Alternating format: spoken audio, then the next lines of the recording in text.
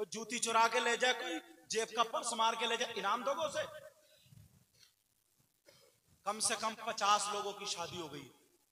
तो जिस दिन तुम दूल्हा बने थे, ससुराल को गए थे, तुम्हारी जूती नहीं चुरी थी।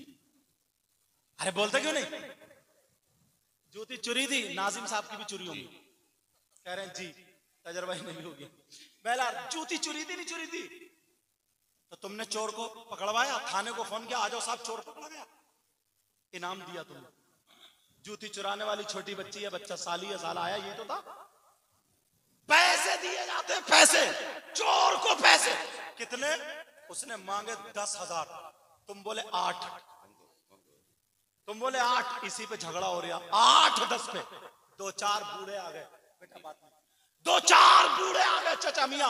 बोले, क्या बात है? बोले ऐसे ऐसे बात है। चचा मिया ने फैसला कर दिया नौ पे।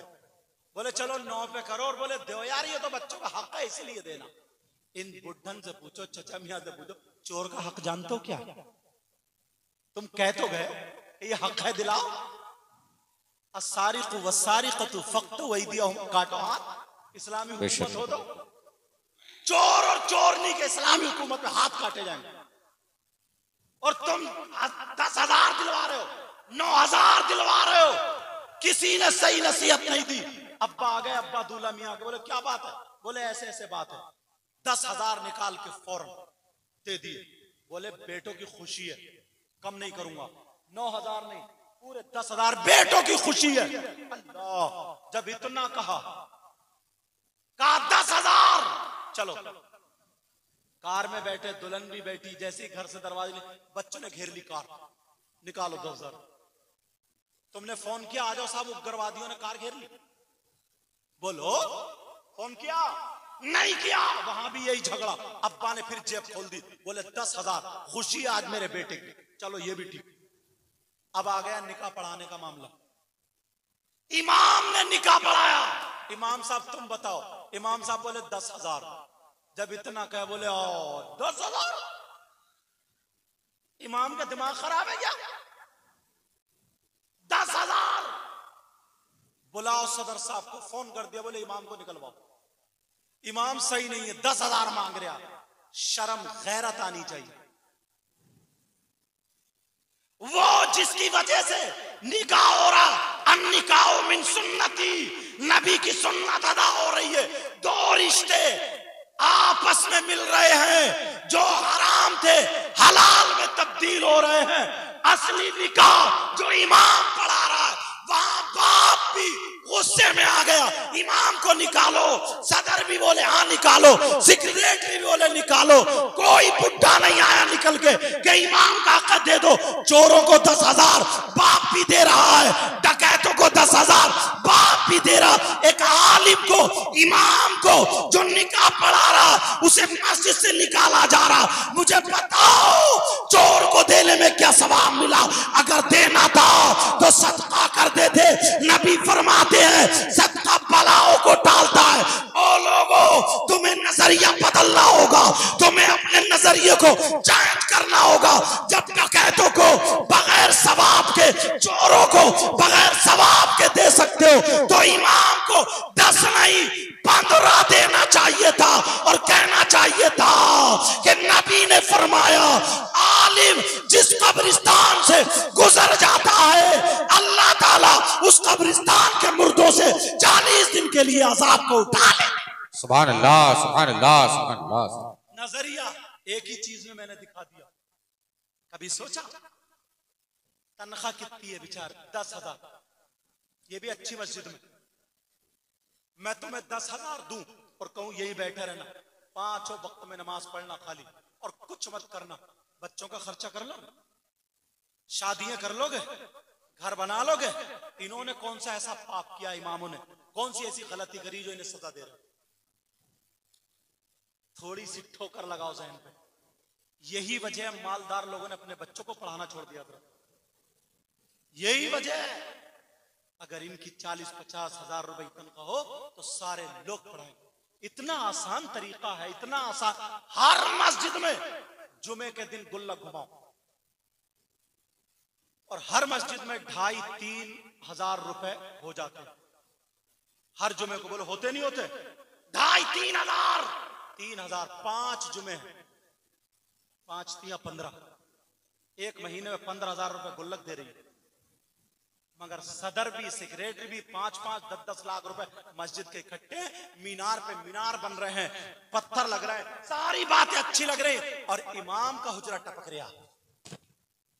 इमाम का हुजरे में मकड़ी का झाला है। इमाम की चारपाई सफ़ेद, ठीक नहीं है। ये कोई पूछता नहीं है, इमाम साहब, तुमने खाना खाया, नहीं खाया। दुखी हो जाता हूँ। तुम्हारे घर शादी हो भूल जाते हो इमाम की दावत करना। दस में तीजे चालीस में, में बात पहले ही खटखटा ध्यान रखियो। ध्यान रखियो। और अगर उसे बेटे को दवा दिलाने जानी बेटी को दवा दिलाने तुम्हारे यहाँ फाता में नहीं पहुँचा तो बात दुश्मनी कर लेता। इस इमाम को निकलवा के छोड़ूँगा। कब तक निकलवाओगे? हश्र के मैदान में कहा जाओ बेशक। पूछो उलमा से। गलत बोलू तो पकड़ लेंगे। पाँच लोग ऐसे हैं जिनकी नमाज़ जनाजा तक पढ़ने का हुक्म नहीं है। तुम बगावत कर रहे हो। बाज बाज तो हज़रत इल्ज़ाम लगवा देता। सिर्फ़ इतनी बात पे जब अंदर गए बात का पता निकाला कि मेरे घर फातियों में नहीं आया था। जी सही है। फातियों का ऐलान नहीं किया था। फाता इमाम पे पढ़ना नहीं तुम पे पढ़ना। उसे नमाज़ पढ़ानी उसे अपने बच्चों को भी देखना। मदरसे के बच्चे ना अगर कोई जाता हो बच्चे जाते हो तो दो चार चौधरी बैठ जाएँगे कि देखे सलाम करेगा या नहीं करेगा। अगर सलाम कर लिया ना तो कहेंगे, यार, पढ़ाई बहुत अच्छी हो रही और चाहे कुछ भी नहीं पढ़ते और अगर सलाम नहीं करा तो बास मौत आ गई। कारी साहब, बच्चों को कुछ नहीं पढ़ाया, पूरा मदरसा खा गए, बर्बाद कर गए पट कर गए। तुम तो पचास, साठ साल के थे। वो पंद्रह पंद्रह, चौदह साल का, वो बच्चा था, गलती कर दी। तुम तो बुढ़े थे, सलाम तुम कर लेते तो क्या मर जाते क्या? मौत आ जाती क्या? और अगर आ भी जाती तो अच्छे अच्छे जुमलों के साथ?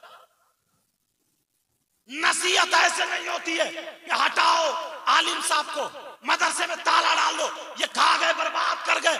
नसीहत ऐसी होती है, हमारे इनके दादा नाना से पूछो, नसीहत ये होती है, अगर बच्चे निकल के जाए, सलाम ना करे तो तुम उन्हें सलाम कर लो। जब दोबारा पलट के फिर सलाम कर लो फिर मिले तो सलाम कर लो।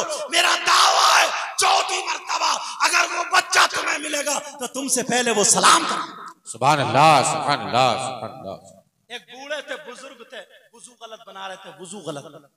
जैसे ही वज़ू गलत बनाया हसन हुसैन ने देख लिया। अब वो कह सकते थे ओ गुड्डन चचा मियाँ गलत बना रहा चलो ठीक करो। एक भाई बोले बोले, चचा मिया, हम दोनों भाई गुजू बनाते हैं। तुम बड़े हो, बुज़ुर्ग, फैसला कर दो। हम में से गुजू किसका अच्छा है? कहा अच्छा। कहा, मैं तो ऐसा वज़ू बनाऊँगा जैसे नाना मियाँ बनाते थे। और ये ऐसा वज़ू बनाएँगे जैसे नाना मियाँ नहीं बनाते थे। तो एक भाई ने ऐसा वज़ू बनाया जो सही बनाने का तरीका। दूसरों ने ऐसा बनाया जैसे चचा मियाँ ने बनाया था जो गलत बना रहे थे। बोले, आपने कैसा बनाया? बोले, नाना की तरह। आपने बनाया? बोले, नाना की तरह नहीं। तो बोले, जो नाना की तरह बनाया, वही तो अच्छा वज़ू जो आका की तरह बनाया वही अच्छा। और दिल में चचा मियाँ बोले, भले से मैं नहीं पकड़ा गया। अच्छा हुआ मैंने और पकड़े चचई मियाँ गए थे। उसके बाद सही वज़ू करने लगे। इसलाह का तरीका तो देखो यार। आखिरी बात, वही चलो, बात निकल गई बात में बात होकर। टाइम भी हुजूर सरकार इतनी देर से बैठे। और मैं तो सोच रहा फजीलतें लूट रहे हैं आज। सुनो, शराब की बात चल रही थी ना? अल्लाह। आला हज़रत भी लिखते हैं, फतेह रजविया में आता है और फुका ने भी लिखा है। ये शराबी जो शराब पीते हैं, इनकी खिजा क्या होगी खिजा तो जो मर्द और औरतें गलत काम करते हैं ना, उनकी शर्मगाह सड़ जाएगी। क्या होगा? सड़ जाएगी। और जहन्नम में उनके पेट इतने मोटे हो जाएँगे जैसे मटके। उनकी शर्मगाह में खून, पीप कचरा हो जैसे कहीं जिसम सड़ जाता है, समझ रहे खून, पीप कचरा तो उन्हें इतनी ज़ोर से पेशाब लगेगा, इतना पेशाब पेशाब की वजह से उनके पेट फूल जाएँगे। तो फिर जब वो पेशाब करेंगे, खून, पीप कचलऊ के साथ पेशाब। तो एक गढ़े में जहन्नम की काली आग के साथ वो खून पीप कचलऊ पेशाब उस गड़े में होगा। अल्लाह। और ये शराबी इन्हें इतनी प्यास लगेगी प्यास कुछ पिला दो कुछ पिला दो।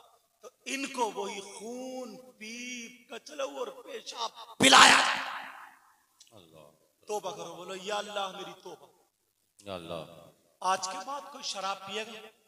बोलो। बोलो नहीं बोलो नहीं। आज के बाद कोई जुआ खेलेगा? नहीं। गीबत करेगा नहीं। चुगली करेगा? नहीं, इंशाल्लाह ज़िंदगी रही तो मुलाकात होगी गुफ्तगू होगी। ये सबक था। प्यारो माफ़ करना कोई मैं कुछ बातें थोड़ी कर रही कह गया हूँ। तुम मेरे दुश्मन नहीं हो जलील करना नहीं चाहता हूँ। तुम मेरे भाई हो। जो डॉक्टर ना चीरा लगाता मैल निकालता वो दुश्मन नहीं होता। जब वो मैल निकल जाता तो फिर आराम से मरीज़ सोता है।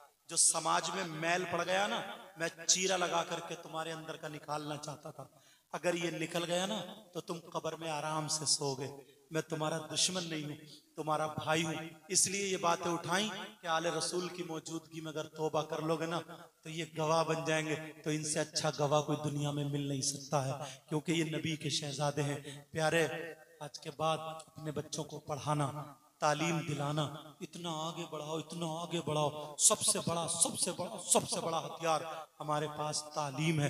अपने खर्चे को कम करो, जो शादियों में खर्चा बढ़ रहा है ना, उसको भी कम करो, उसको भी कम करो, वैसे भी अपने अखराज कम करके बच्चों की तालीम पे लगाओ, उन्हें अच्छा आलिम भी बनाओ, दीनी तालीम हासिल कराओ। उसके साथ साथ डॉक्टर भी हो, उसके साथ साथ इंजीनियर भी हो, उसके साथ साथ मतलब जितनी पढ़ाई है, ये सब आगे हमारा बच्चे आने चाहिए। और बेटा, जो स्कूलों में पढ़ने जाते हो, मेरे लाल, ये ज़िंदगी तुम्हारी बर्बाद मत करना।